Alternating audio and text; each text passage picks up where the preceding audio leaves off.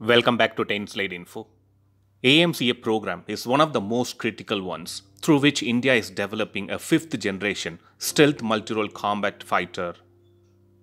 Even though the Indian Air Force has accepted the critical design review, the approval by the Cabinet Committee on Security is very much required in order to infuse funds to begin the fabrication and to proceed with the building of prototypes.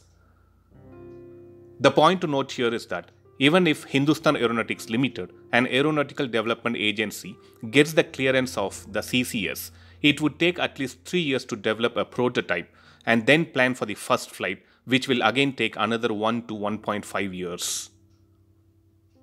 Developing a fifth generation is very much important for India, but by the time the production of AMCA gets kicked off, it would be like Indian Air Force had to operate with a smaller number of fighter squadrons and also that too without any fifth generation fighters.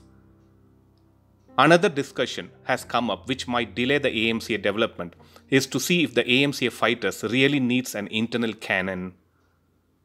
An internal cannon would be very useful during the dogfighting scenarios.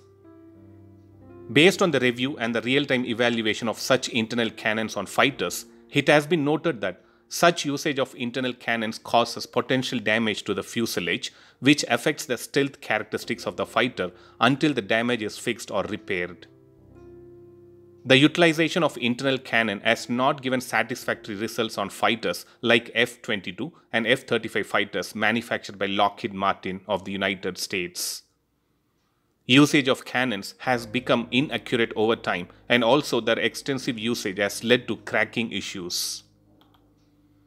That's one of the main reasons for which both China and Turkey have excluded the fitting of internal cannons on their stealth fighters like J-20 and TFX Kaan. According to me, the Indian Air Force can go ahead with AMCA design without the internal cannon since during current evolving air combat scenarios, the role of a gun is diminishing rapidly and engaging fast maneuvering targets with such cannons has become more challenging. I'll keep tracking the progress made on this particular inclusion of internal cannon for the AMCA and will upload more videos then and there. Thanks for watching. Stay tuned to 10 Slide Info for more defense and aviation related updates.